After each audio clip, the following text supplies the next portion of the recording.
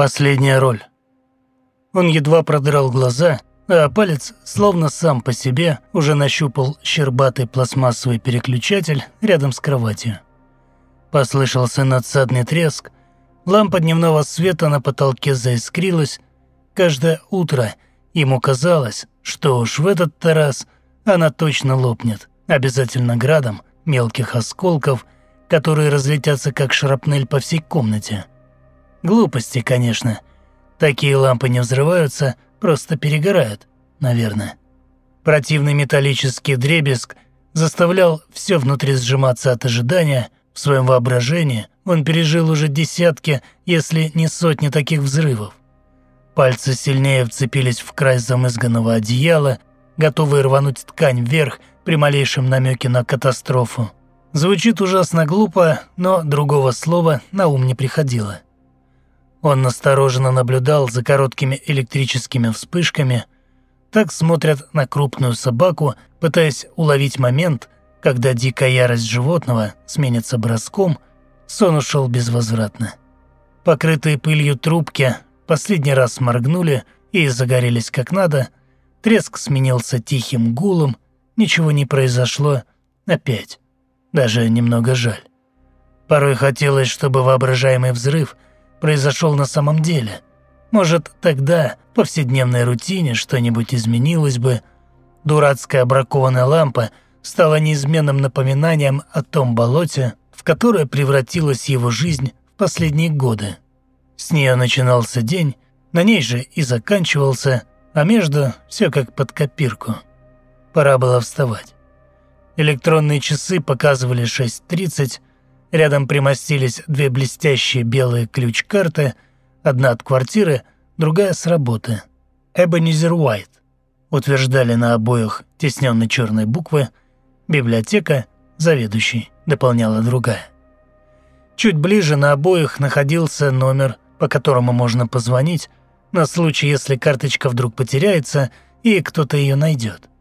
Бледный свет лампы смешивался с серым уличным полумраком – ползущим сквозь неплотно закрытую решетку жалюзи, за окнами клубилось сырое туманное марево, смутно угадывались очертания соседних многоэтажек с темными провалами окон. Все вокруг казалось покинутым и одиноким.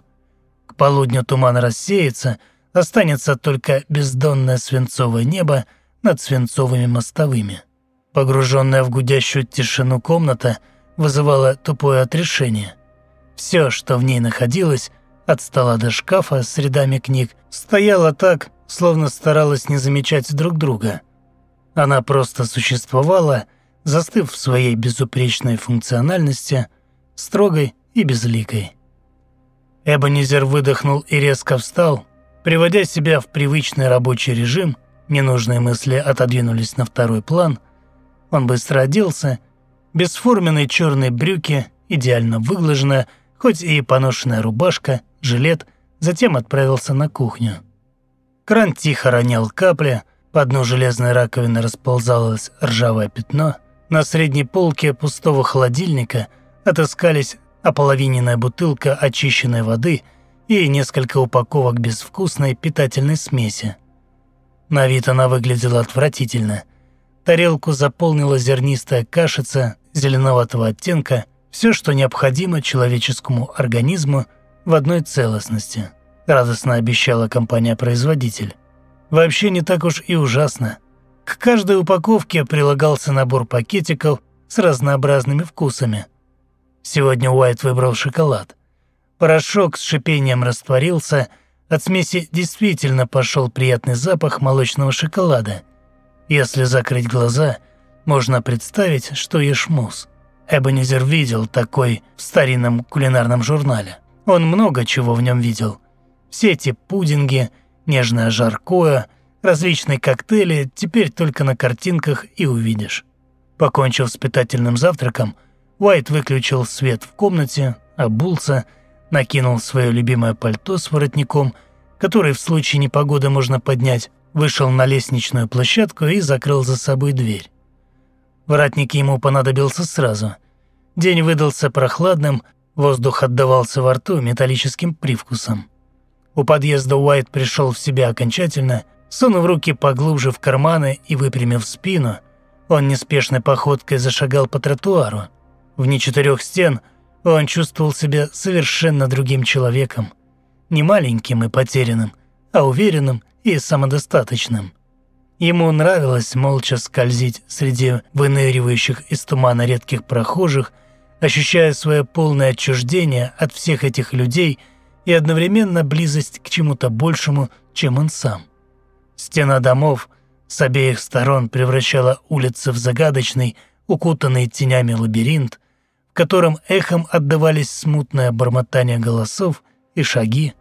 Эбенезер бросил взгляд вверх, туда, где вихрился унылый морок из стальных облаков, застивших небо. Из книжек с картинками он знал, что где-то там есть лазурная синь, по крайней мере была. Может, это всего лишь выдумки, самая обычная ложь, призванная вселить веру в чудеса, такая же, как и солнце. Когда Эбонизер добрался до Чейни-стрит, откуда до библиотеки осталось минут десять ходьбы, серую палитру улиц нарушили багровые отблески. Городская стража выставила вокруг подъезда одного из домов заградительный барьер. По электронному табло бесконечно ползла надпись из алых букв, велящая всем прохожим держаться подальше. Не то чтобы в ней имелась особая необходимость, но традиция соблюдалась неукоснительно. Возле ограждения неподвижно стоял одинокий стражник, держа на перевес стандартную электродуговую пушку крепящуюся проводами к ранцу-генератору за спиной. Затяжной выстрел из такого оружия был способен оставить от противника жалкую горстку пепла, короткий, обгорелую груду мяса. Накинутый поверх брони плащ блестел влагой, оставленной туманом. Черный наличник экран шлема скрывал лицо, в глубине похожего на стекло материала скользили отражения. Уайт сам, не зная почему, замедлил шаг, пока вовсе не остановился, место преступления приковало к себе взгляд. Возможно, все дело было в улице, так влияющей на его характер. Удивляясь самому себе, Эбенезер шагнул к стражнику. «Что здесь произошло?» Собственный дрогнувший голос донесся словно издалека. Мимо, не обращая ни на что внимания, продолжали брести люди – их фигуры буквально растворялись на фоне стен домов и мокрого асфальта, им не было ни малейшего дела ни до сцены преступления, ни даже, казалось, до собственного маршрута. Стеклянное лицо медленно, будто шея крепилась на шарниры, повернулось к враз побледневшему библиотекарю, некоторое время стражник буравил его взглядом без глаз, колени Уайта предательски дрогнули, он уже собирался пуститься на утёк, напряженно соображая, хорошая ли эта идея или нет, ведь бегущий человек всегда в чем-нибудь да виноват. Но тут из-под шлема раздался искаженный динамиком хриплый ответ. «Убийство. Ничего особенного. Следуйте своим маршрутам. Гражданин номер 665 Эбонизер Уайт». Из здания вышли еще два стражника, абсолютно ничем не отличающиеся от первого, даже телосложением. Теперь Уайта молча разглядывали уже трое. Он счел за лучшее как можно быстрее последовать совету, попутно проклиная себя за сиюминутный порыв, сердце колотилось как бешено, в животе нещадно крутило. Отойдя на некоторое расстояние, Эбенезер все же не удержался и украдко обернулся. Мрачные фигуры образовали полукруг, о чем-то переговариваясь. До него донеслось только отрывистое скорее всего, было двое, одна сбежала. И, проявляет активность, нужно сообщить. Он как можно скорее постарался выбросить услышанные обрывки из головы. Это не его дело, у него свой маршрут. Тем более страшные фигуры без лиц заметили, что он подсматривает, стражники наблюдали за ним. Уайт вздрогнул, спешно отвернулся и ускорил шаг. Старое здание библиотеки буквально пропиталось темнотой. И если в холле она еще неохотно уступала своей позиции бесцветному дневному свету, проникающему сквозь ряд огромных витражных окон, то глубже, там, где на многочисленных полках пылились книги, и в коридорах ее власть являлась полной. Редкие настенные лампы оказались не в силах отодвинуть темноту прочь, только усиливали ее, сгущая оттенки, из-за этого помещения превращались в подобие подземелий. Мрак творил из них гигантов, тихих и пустых. Почетный хранитель библиотеки, такую должность занимал Эбонизер в этом наполненном тенями безрадостном месте, где за все годы не появилось ни одной живой души. Библиотека? О нет. Скорее кладбище книг, а он смотритель могил.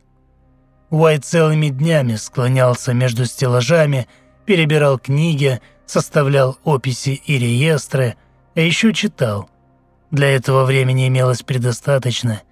Никто не требовал от него отчетов и списков, заполненные аккуратным, словно забор почерком, папки навсегда отправлялись в специальное хранилище. До востребования, гласила инструкция. Стоит ли говорить, что востребование так и оставалось в ней всего лишь полустертой, ни к чему не обязывающей надписью. За годы, что Эбенизер занимал должность хранителя, он не получил ни одного уведомления сверху, вышестоящее начальство молчало. Вероятно, его и вовсе не существовало. Однако книги продолжали исправно поступать, а на счет приходили деньги. Такой порядок вещей Уайта устраивал полностью. Всякими глупыми вопросами он не задавался, да и свои обязанности он выполнял строго, даже с некоторым удовольствием. Обвинить его в халатности не смог бы сам Бог, существует такое где-нибудь поблизости.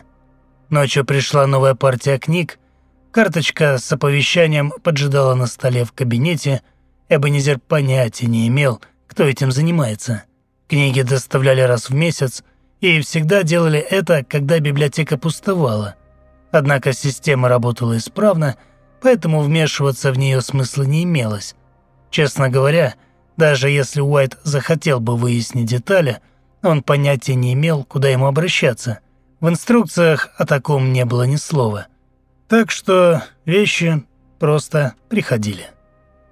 Эбонизер взял под мышку папку с вложенной стандартной линейной формой для заполнения, сунул в передний карман жилета ручку и вышел в полумрак, держа в правой руке переносную лампу, напоминающую штормовой фонарь.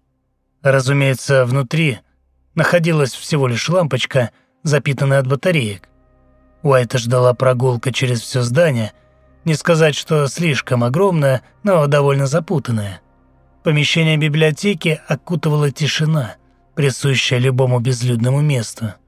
Шаги Эбенезера по каменному полу звучали громче, чем ему хотелось бы.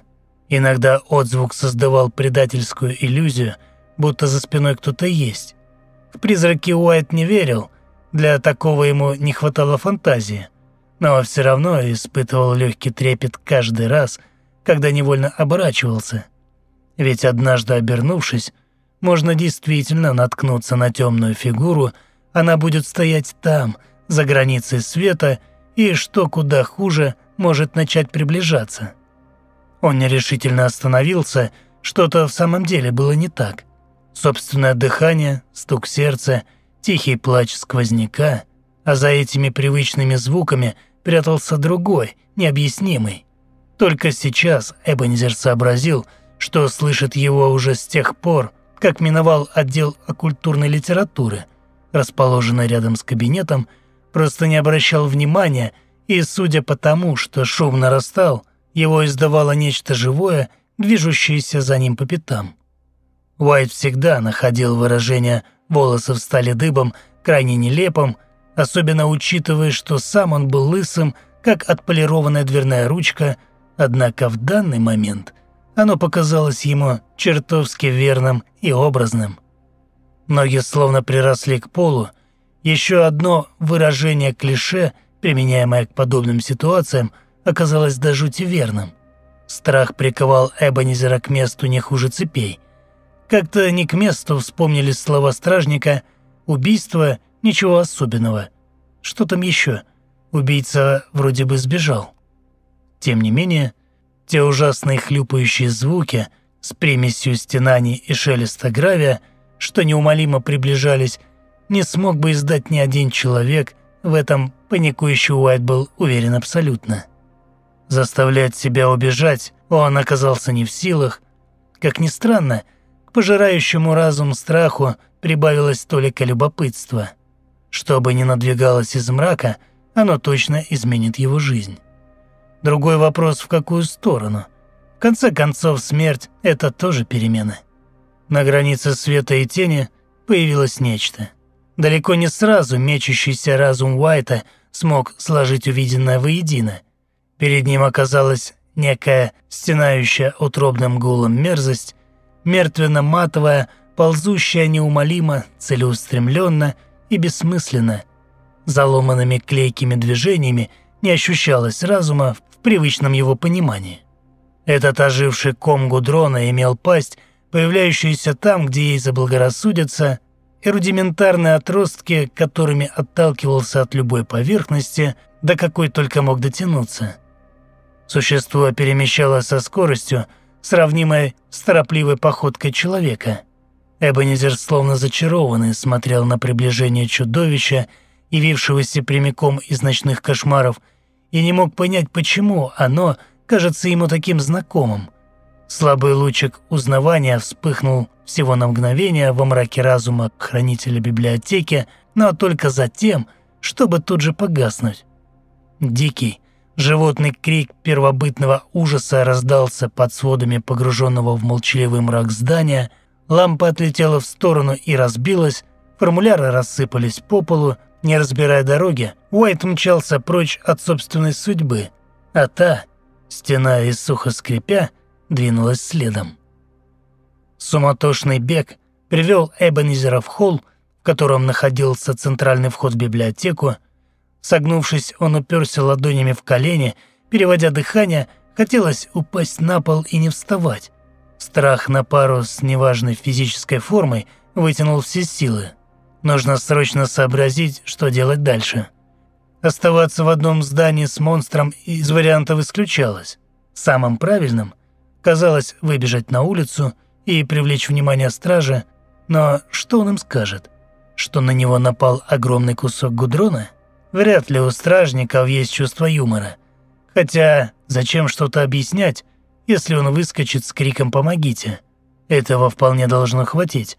Вот только вдруг монстр всего лишь фантом сознания, вызванный переутомлением или чем-то еще – Тогда он окажется в поистине идиотской ситуации, да еще получит солидный штраф за ложный вызов. Нет, так не пойдет. Уайт перевел дух и напряженно прислушался. Если чудовище было реальным, то оно явно отставало, ни бормотания, ни сухого треска он поблизости не услышал. Конечно, это ничего не значило. Между внутренними и внешними помещениями звуки сообщались крайне плохо, Образно выражаясь, что происходило между книжными полками, между ними же и оставалось. В голове опять возникли отвратительные черты кошмарного существа. Этого хватило, чтобы принять окончательное решение. Последний вдох, и Эбенезер трусцой поспешил на выход. Лучше уж стать оштрафованным посмешищем, чем мертвым. Только он протянул руку к ручке, как дверь вдруг резко распахнулась сама, заставив его испуганным криком отскочить в сторону. Одна за другой в холл ворвались четыре фигуры в черной броне с дуговыми пушками наперевес, отделанные сталью подошвы сапог выбивали громовую дробь по мрамору. Эбонизер метал панические взгляды по сторонам, окончательно потеряв нить происходящего. «Гражданин номер 665, Эбонизер Уайт», громыхнул один из стражников. Эбонизер нервным рывком повернулся на голос. Прямо на него смотрела электронное дуло пушки, руки сами взлетели вверх, заплетающиеся ноги понесли назад, но он чуть не упал. «Не стреляйте!» Едва выдавил он из себя пятясь. «Покиньте здание, мы разберемся с проблемой», — закончил стражник. Больше, не обращая на него никакого внимания, черные фигуры направились к массивной двери, за которой начиналось царство книги и мрака. Сотрясаемый мелкой дрожью, Эбенезер сполз по стене на холодный пол. Он уйдет. Вот только сперва придет в себя. Смешок вырвался сам, против воли. Нервы сдали окончательно. Внезапно на него накатило ледяное спокойствие, словно откуда-то со стороны Уайт наблюдал за выстроившимися в ряд напротив двери стражниками. Собственное тело показалось ему невесомым, а время медленным и тягучим. Он даже не сразу заметил, что возле него появился кто-то еще. «Почему вы не ушли?» – раздалась над Дебонизером. Интонация выражала искренний интерес. Выговор у незнакомца был мягкий, с удивительно низким тоном. Уайт поднял взгляд. Человек оказался крупным и высоким, до такой степени, что выглядел почти гротескно. Черная форма стражника в купе с плащом делала его похожим на мрачного жнеца, невероятно бледная кожа – только усиливало сходство, как и неподвижные черные глаза на слегка вытянутом лице. В отличие от остальных, он носил не шлем, а широкополую шляпу, поля блестели от влаги, на улице накрапывал дождь. «Кто вы?» – вяло поинтересовался Эбонизер. «Инспектор Рутгер Рэй. Я занимаюсь этим делом». «Убийствами?» «И ими тоже», – кивнул Рутгер. Там монстр». Лицо Уайта исказила болезненная усмешка, слишком уж по-детски это прозвучало. «Да, разумеется, поэтому мы здесь». «Хотите сказать, во всем этом есть смысл?» «Боюсь, что так. Все происходит на самом деле, если вы об этом». Уайт несколько секунд переваривал услышанное. Надежда на то, что он стал всего лишь жертвой изобретательной галлюцинации, его лишили окончательно. Так ли это ужасно? Не этого он совсем еще недавно хотел, перемен, которые принесут в жизнь новый смысл. Лампа взорвалась. Пробормотал он себе под нос, уставившись в пол. Чёртова лампа наконец взорвалась. Треск древесины раздался подобно выстрелу. Эбонизер так и подскочил. Рэй отреагировал всего лишь легким поворотом головы, выражение вежливой заинтересованности с лица никуда не делось. Тварь явилась. Черные отростки методично пробивались сквозь дверь, в некоторых местах они торчали словно копья в щите.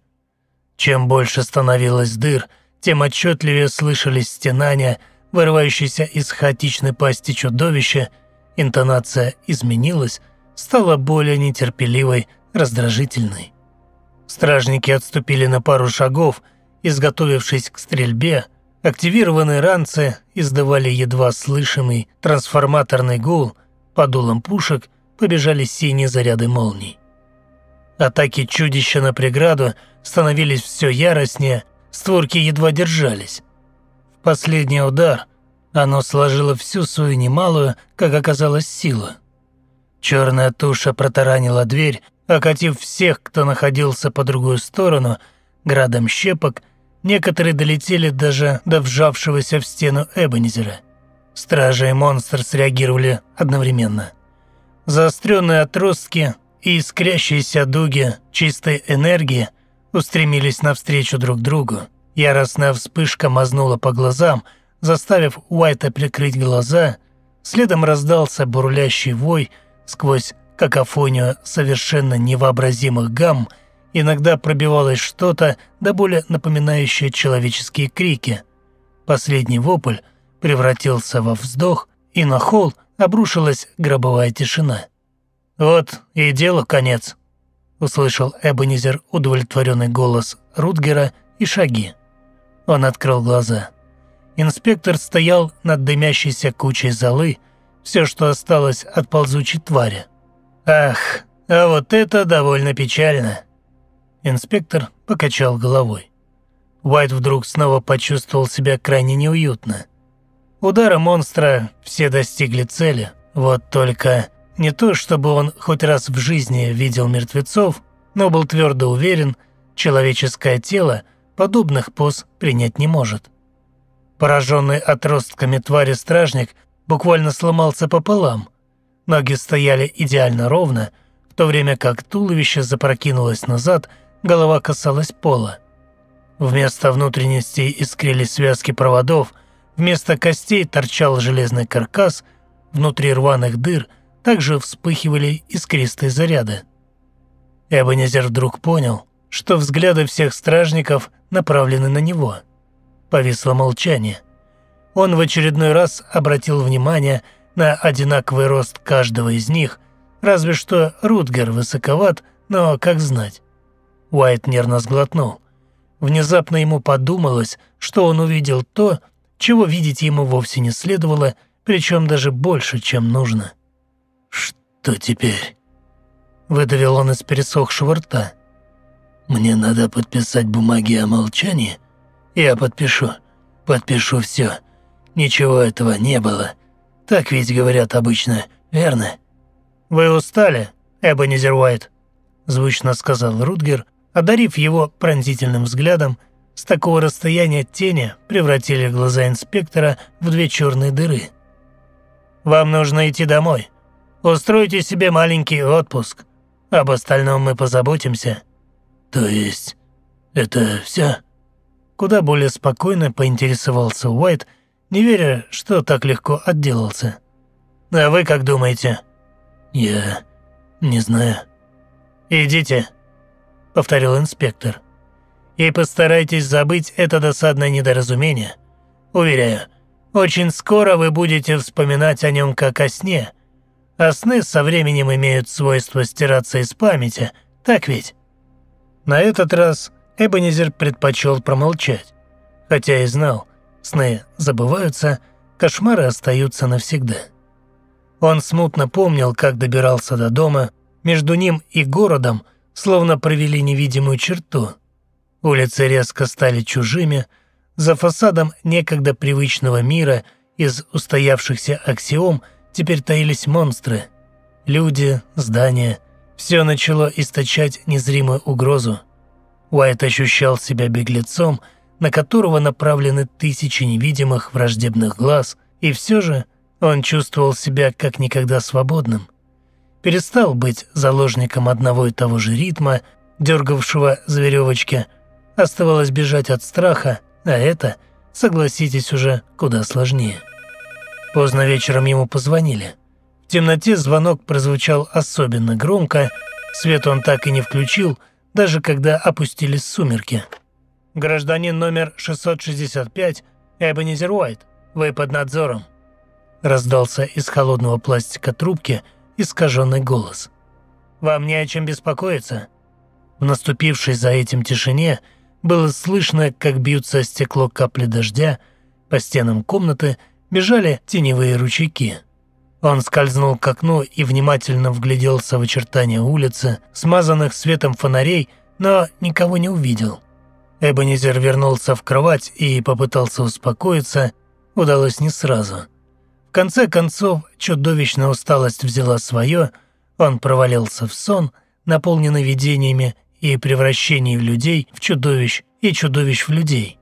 И те, и другие со смехом обнажали свою механическую сущность.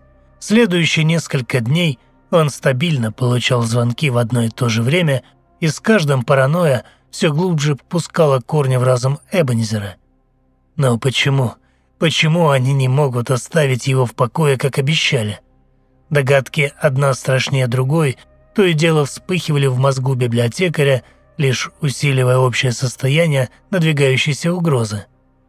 Выглядывая на улицу, он постоянно видел наблюдающие за его квартирой фигуры, или ему так казалось, ведь стоило только ему задержать на мнимом наблюдателе взгляд, как тот тут же превращался в обычного прохожего или игру теней в тумане.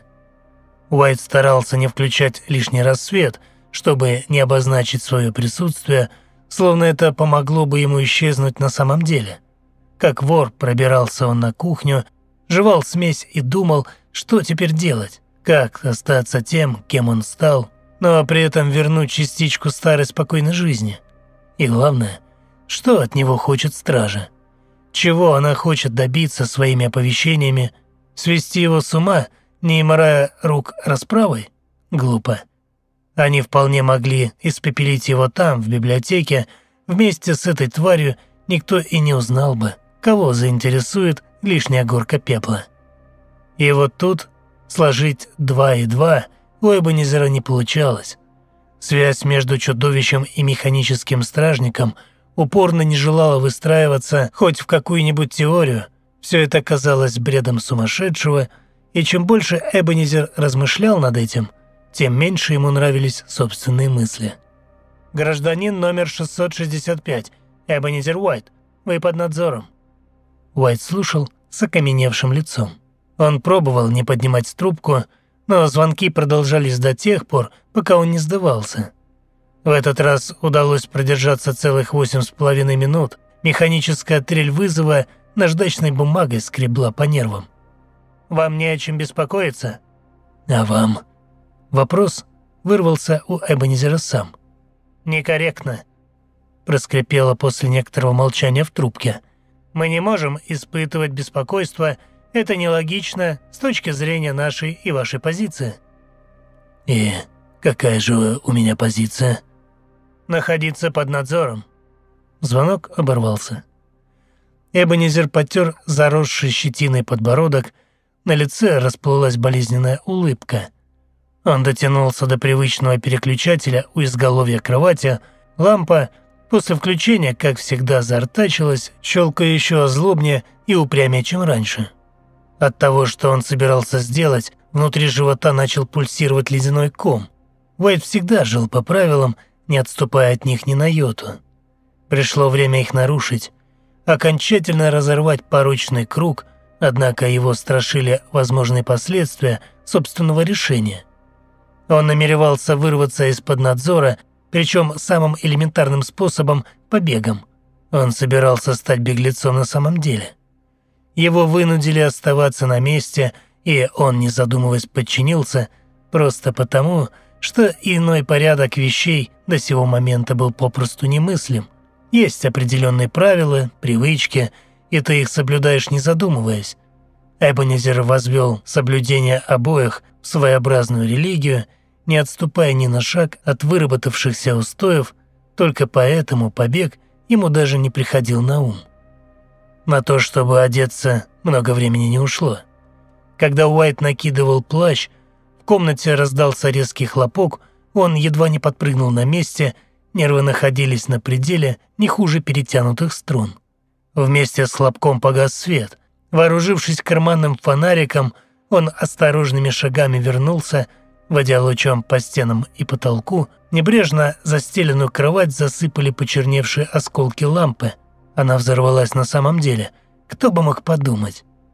Давно надо было ее сменить.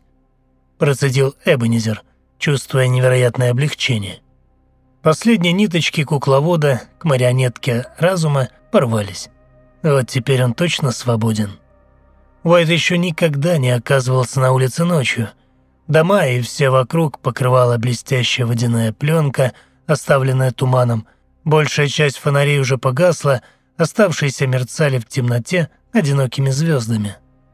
Вопреки ожиданиям, никто не поджидал Эбонизера возле подъезда. Он нерешительно остановился, чернота напоминала ему о монстре, однако Уайт на удивление быстро собрал волю в кулак и бегом нырнул в ночь. Странно это было – двигаться по иному маршруту, отличавшемуся от привычного. Он бежал и мало задумывался о том, куда, собственно, направляется – лишь бы подальше отсюда.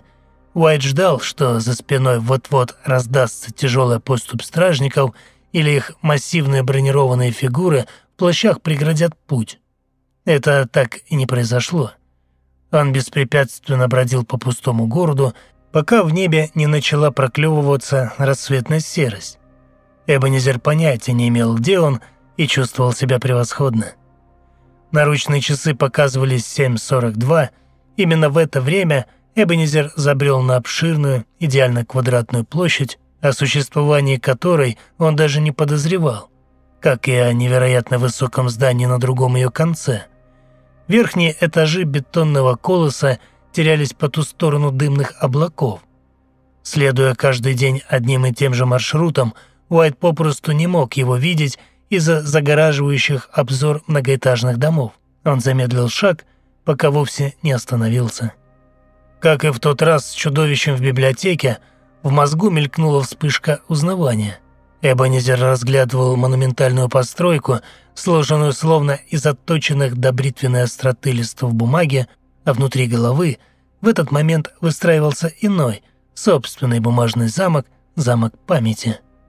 «Либо меня действительно кто-то хочет свести с ума», — с трепетом подумал Эбонизер, «или я сам успешно с этим справляюсь. Почему мне кажется, что я здесь уже был, причем не раз?» Может, в своих снах? И вот, в момент, когда ему показалось, что сейчас последний фрагмент встанет на нужное место, замок рухнул, вместо него возникла паника. Это был самый настоящий разгром, постепенно переросший в отступление. Эбонизер понял, что заблудился не просто среди незнакомых улиц, но и в самом себе. Он снова почувствовал себя очень уязвимым и как никогда одиноким. Уайт пересек несколько переулков и судорожно огляделся, пытаясь найти хоть какой-нибудь указатель, не то чтобы это могло ему помочь, однако хоть с чего-то начать стоило. Вокруг тем временем сгущался туман. Поиски успехом не увенчались, перед глазами мелькали совершенно одинаковые дома и четкие симметричные стрелы пустых дорог без каких-либо обозначений. У Эбонизера закружилась голова, он привалился к стене перевести дух. Улицу начали заполнять первые прохожие, абсолютно никто не обращал внимания на бледного как пластик библиотекаря, уткнувшегося лбом в холодный бетон. Уайт открыл глаза. «Все просто. Если заблудился, просто спроси кого-нибудь, где находишься. Так ведь обычно поступают». Неподалеку из тумана как раз показался неспешно прохожий. Человек шел явно погруженный глубоко в свои мысли, на лице застыло отсутствующее выражение. Сперва Эбенизер окликнул незнакомца, однако тот даже не удосужился посмотреть в его сторону.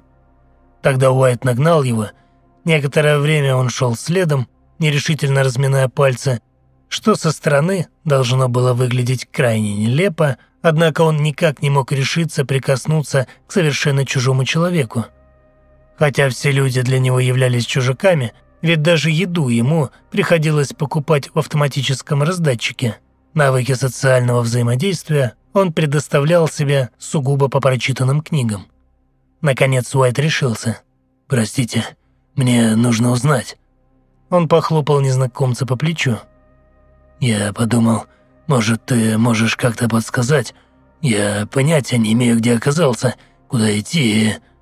Эбонизер смолк, а человек остановился, застыв как манекен. Он даже не обернулся, не говоря уже о том, чтобы ответить, словно его разом охватил паралич. Терзаемый страшным предчувствием, Уайт попятился, едва не наткнувшись спиной на еще одного прохожего. «Извини», — смутился библиотекарь. «С ним что-то не то, понимаешь?» Хоть в этом не было необходимости, он указал на паралитика. «Понимаю», – монотонно отозвался прохожий, даже не думая останавливаться. «Удачного дня!» Уайт проводил его растерянным взглядом. Что ж, по крайней мере, он хоть что-то сказал, а не прошел мимо, будто сомнамбула, как все остальные. Эбонизер соображал, кому бы еще обратиться, отрешенные молчаливые прохожие его нервировали, стараясь выкинуть неподвижного типа из головы, он поспешил прочь, пока фигуру с обвисшими руками не скрыл туман. Для новой попытки Уайт выбрал пожилого мужчину, своим внешним видом тот вызывал доверие. «Простите», — начал Эбонизер. «Я понятия не имею, где нахожусь. Случайно забрел и теперь не знаю, как вернуться. Вот». Старик смирил его добродушным, как показалось Уайту взглядом. «Очень интересно», проскрипел он чересчур хриплым голосом. «Удачного дня!» Для Эбонизера это стало последней каплей. От ужаса у него перехватило дыхание, он побежал в панике, заглядывая в каждое встреченное лицо, отовсюду на него в ответ смотрели пустые глаза и слышалось «удачного дня».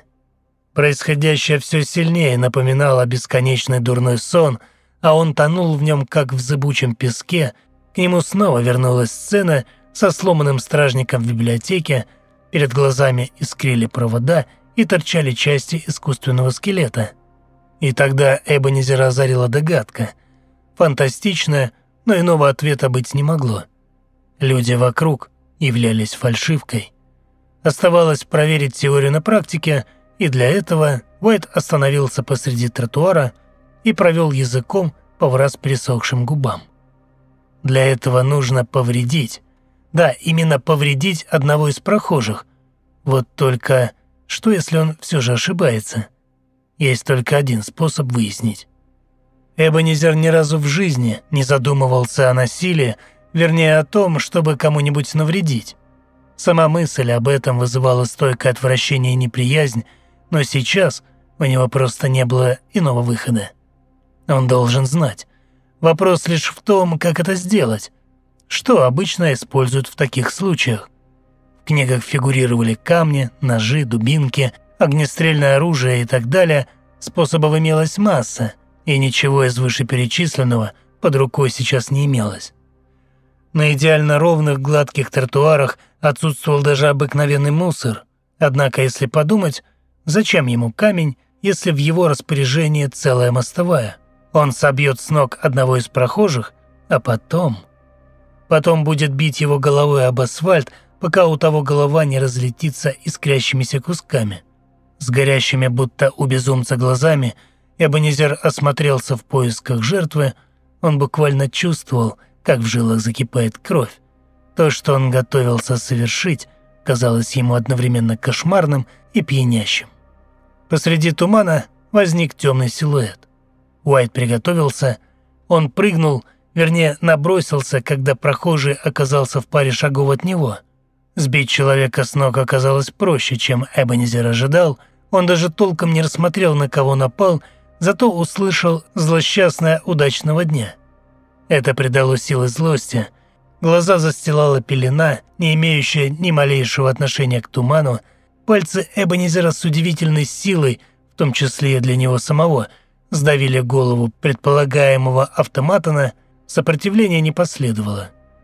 Библиотекарь сквозь сжатые зубы со свистом втянул воздух, затем нанес первый удар. С каждым разом он все сильнее и более иступленно обрушивал затылок незнакомца на асфальт. Краем глаза он видел, как рядом проходят и исчезают, словно призраки, размытые фигуры людей. Никто из них и не выказал интереса к происходящему. Последние три удара, и Уайт откатился в сторону, тяжело дыша. «Я оказался прав», простонал он.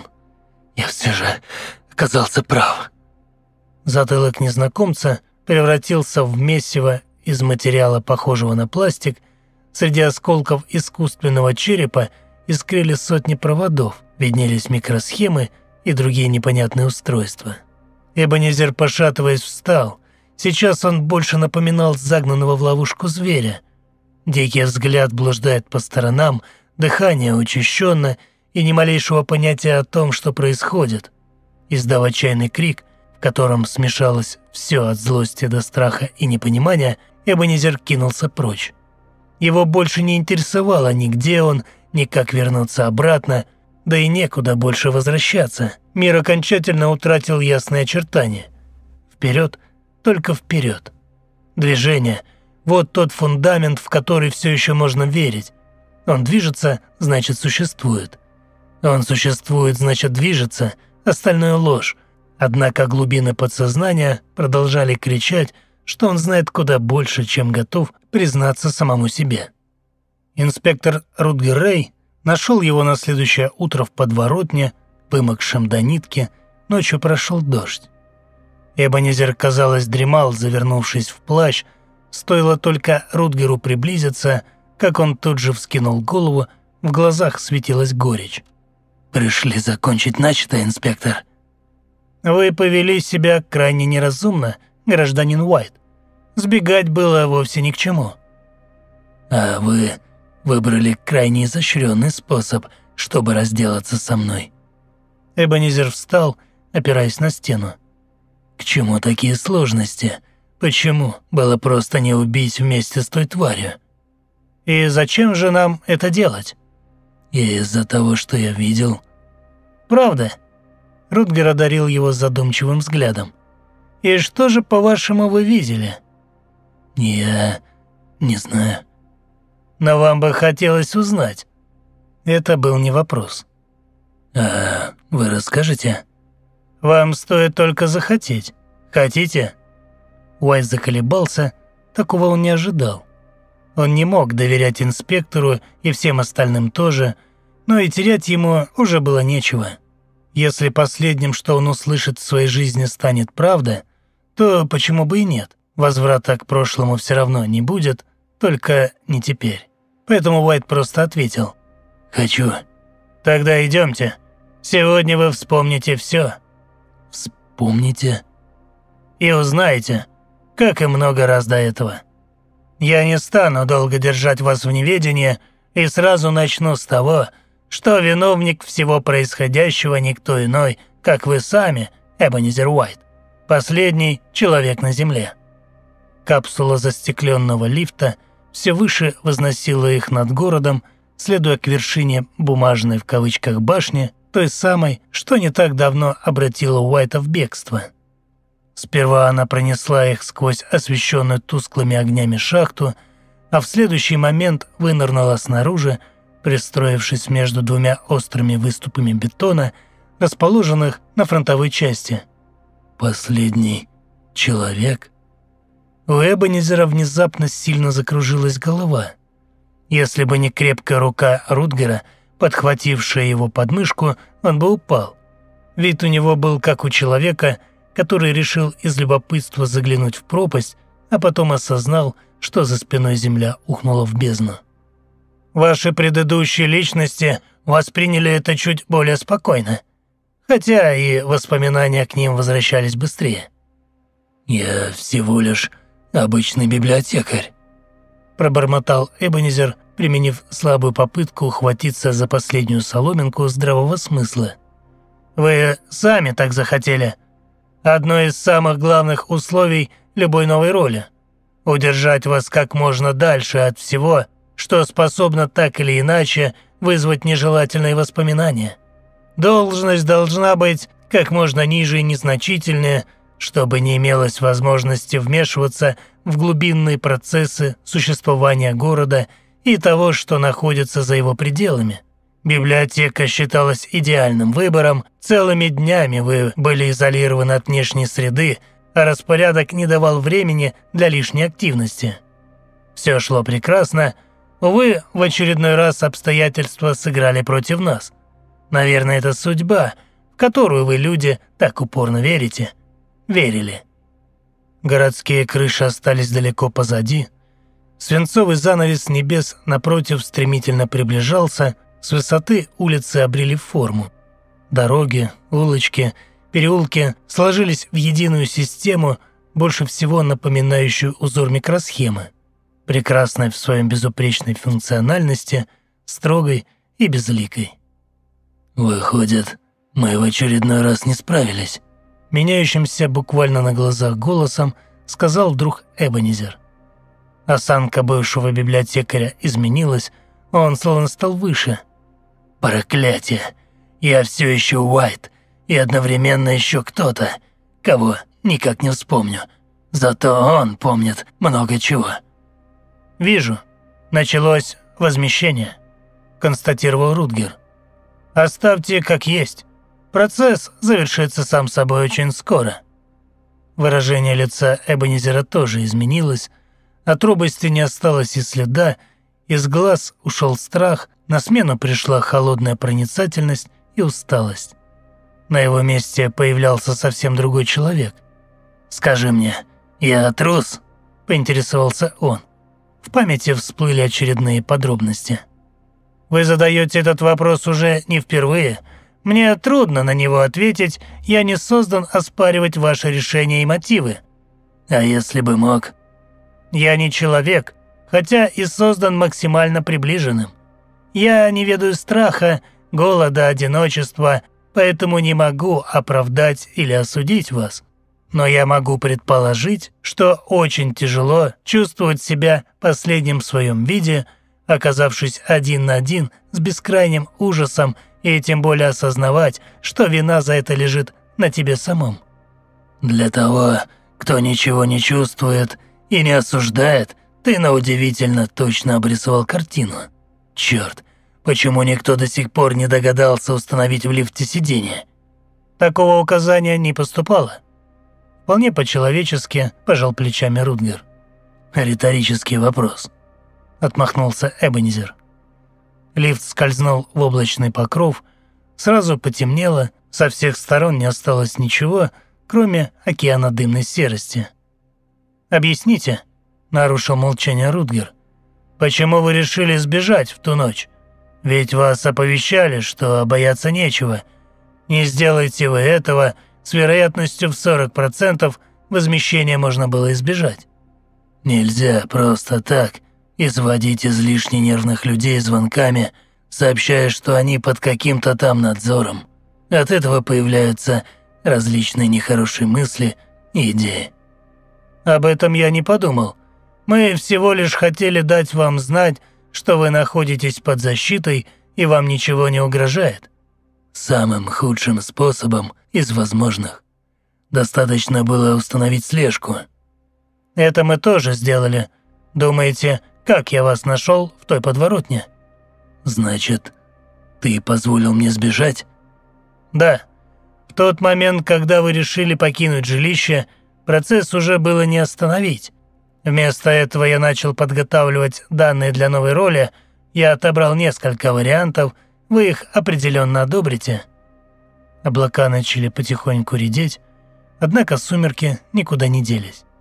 «Кое-что я так и не могу вспомнить», сказал Уайт, указывая вверх. «Я знаю, что по ту сторону небес скрывается мой главный страх, главная тайна, которую я так упорно прячу от самого себя, причина, из-за которой мир таков, какой он есть, то, почему каждый раз я укрываюсь под новым именем и ролью. Что я увижу, Рутгер?» «Правду». Он не солгал. «Нет, нет, я не хочу снова это видеть. Теперь я вспомнил, вспомнил». Эбенезер корчился на полу, тщетно пытаясь закрыться руками от того, что все это время скрывали милосердные облака. «Мужайтесь, скоро вы снова познаете забвение». Бесстрастно, словно священник перед осужденным на смерть, сказал Рутгер. Лифт остановился. За распахнувшимися дверьми – оказалась широкая обзорная площадка и караул из десятка стражников. Инспектор подхватил упирающегося Уайта под руки и буквально вынес наружу. Эбенезер затравленно сжался, стараясь не смотреть на небо, настоящее небо. Однако оно упорно лезло со всех сторон, куда ни брось взгляд. Если он начинал смотреть под ноги, оно проникало прямо в голову, и он смирился. «Отпусти меня», спокойно велел Уайт. Рутгер покорно ослабил хватку. Эбенезер скинул его руку с плеча, куда более тяжелую, чем могло показаться, и на слегка заплетающихся ногах направился к краю площадки. Инспектор со скорбным видом наблюдал за ним с расстояния. Здесь, на вершине мира, бушевал ветер, плащ драматично под стать моменту развивался за спиной Эбенезера, он остановился на самом краю – Рок все же его настиг. Опять. Не было никакой синевы. Докуда хватало глаз, раскинулась бледная пленка защитного энергокупола, покрывающего весь город и прилегающие окрестности, а с той стороны наружный слой тонул под живой черной массой, неустанно грызущей кажущуюся невесомой защиту бесконечными рядами продольных острых зубов. Тут и там – виднелись невообразимых размеров глаза, безумно шарящие по пространству под куполом. В некоторых местах масса начинала бурлить, и тогда она разрождалась сотнями мелких тварей, на одной из которых Уайту не повезло наткнуться в библиотеке. Периодически в барьере на пару секунд появлялись мелкие разрывы, особенно везучим амебам удавалось проникнуть на другую сторону – после чего они словно улитки ползли дальше, но больше всего ужас вселяли непонятно откуда растущие антропоморфные руки с произвольно меняющими размер и длину пальцами.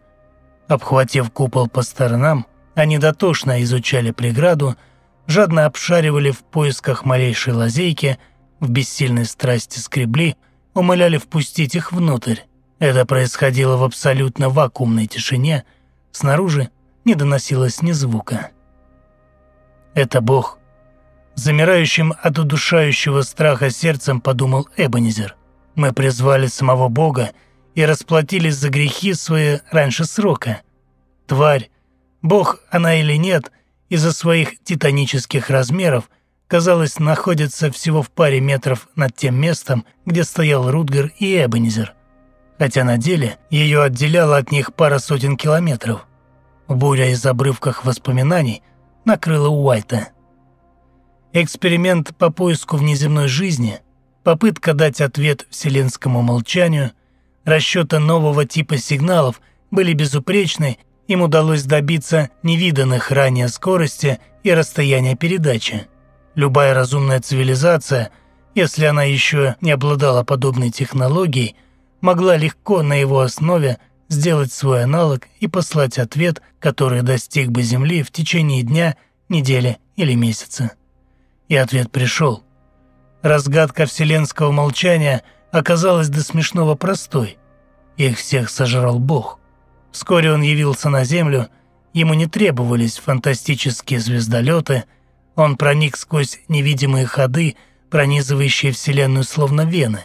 Его пир был милосердно коротким – но он, Эбенезер, успел спастись на тестовом полигоне, где испытывали блокирующие типы энергии, а в качестве испытуемых выступали роботы, имитирующие людей. Оставалось доработать какие-то проекты, в частности, заместитель личности, и создать верного слугу, беспрекословного исполнителя. Им стал Рутгер, тоже единственный в своем роде. Когда совсем было покончено, Эбенезер нет. Моро Грейвс, так его ведь зовут на самом деле, верил ему свою душу и безопасность и сбежал в блаженное неведение, мыкаясь на самом дне жизни, лишь бы случайно не коснуться правды.